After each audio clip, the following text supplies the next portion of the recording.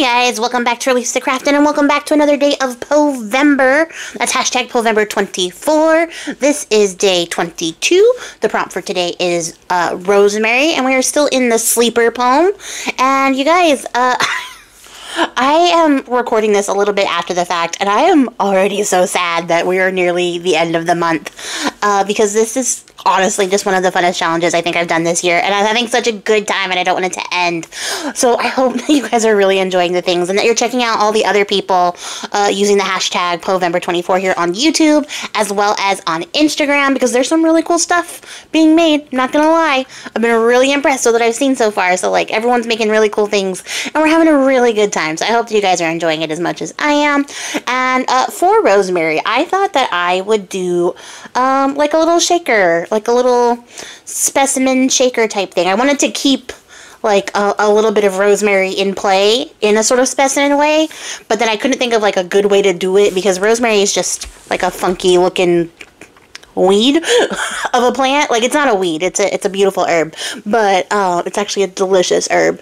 But it doesn't look great when it's dried. It just looks like little little bits of green. So I was like, okay, how how can you do this in a way that's like aesthetically, visually pleasing. So I decided to turn it into like a shaker, and I went back to um, that beautiful death book that I have that has all those beautiful pictures of uh, like the statues and monuments in cemeteries. And um, i picked out a really great image and then i was like thinking about how i could combine the rosemary with other things to sort of get across like a sort of melancholy grief filled atmosphere because that's definitely what poe writes about the most is dealing with grief and loss so I picked out an image I really liked, and I started to look into herbs that were good for grief, and settled on uh, some rosemary and some rose. Although I don't really think it's rose, honestly, but it's you know it's it's dyed. It's it's like a seed pod or something. I don't know. But it looks like rose leaves to me, so I think it, it's going to do the trick. I think it's going to work for what we have going on here. And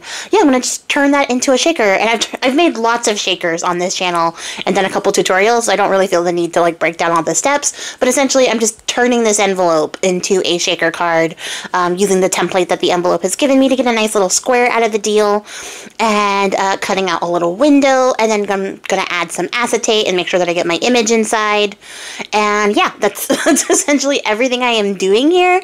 Um, I honestly just wanted to talk about other things today. I don't know why.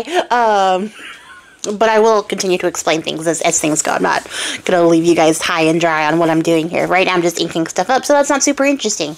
Uh, but yeah, I've been seeing some really great stuff. And then, of course, because I'm doing all the Poevember things and all this stuff, I keep getting Poe stuff, like on all of my feeds, even um, on Pinterest. Pinterest is like, you want more Edgar? And I'm like, I absolutely do want more Edgar. I love that. Uh, it's the one time the algorithm is algorithming in my favor, I think, because I'm getting all the things that my spooky creepy heart desires. And it's just been very it's been very satisfying. So after cutting out the acetate and getting my glue to it um, I, st- I stuck my image in first which I probably could have done before I stuck anything down honestly but it is what it is. Um, and then I managed to slide the acetate in by cutting it slightly smaller than my envelope, but not so small that I would have to like mess around with it um, to make sure that it's covering all edges of the window. So like that's I guess a tiny tip if you are doing something like this where you're building a shaker or a window into an envelope. If you cut your acetate just slightly smaller than your envelope for your window, um, you don't have to fuss with it. It becomes a lot, a lot less fussier. Um, and then I just decided that it needed a little something extra because, like, yeah, the rosemary was going to be the standout thing here, but I wanted it to be more visually appealing. So I have these like black line uh, stickers that are impossible to remove from their backing, uh, but I insist on using them all the time. So I thought they would add like a cool line, a bit of line art that you wouldn't necessarily see looking at the black and white image directly, but you would see when the rosemary slid underneath it, you'd be able to see the flower images underneath. And then, um, I would recommend if you're going to do something like this that you actually make sure that the side that you think is the right side is the correct side up because I realized after the fact that this was not the correct side and had to just sort of pivot and flip it around and go for the best. I could have picked a different uh, flower, but I just uh, just commit to the bit because if nothing else, I am consistent on this channel of making problems and solving them. Um, so yeah, I managed to, to weasel it under there in a way that I thought worked out visually. I had to add a little bit of glue because I did weasel it under there. Um, but the stickers came out great. I think they look really great once the, the shaker contents slide underneath them. You can't really tell too much when you're looking at it just like this on camera, but once the, the little contents of the pocket get underneath, it looks great. So I really love that little effect. It's like a surprise little shadow leaf. So I'm adding in some rosemary. Um, from my witchy apothecary stash because I have so much. I actually love this herb so much. And then these are the uh, little dyed petals that I was talking about. I think they're great. They add a nice little fun pop of color in an otherwise very like morose landscape. And then I added in some lavender because that also is an herb for grief and uh, healing. So I thought, you know, it all works and it's it's got a little bit of extra oomph from all the little properties and it shakes beautifully and it's really nice and I really love how this came out. I'm very satisfied with it, and I hope that you guys are enjoying it. Oh, I forgot to mention I went back and sewed it after the fact to seal everything in there. So yeah, I think it looks great. I love the backing paper. I love this pocket. I love just this entire effect.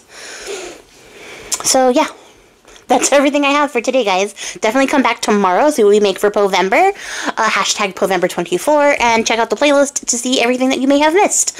Um, I will be back next time, guys. Happy crafting. I appreciate your faces. Bye.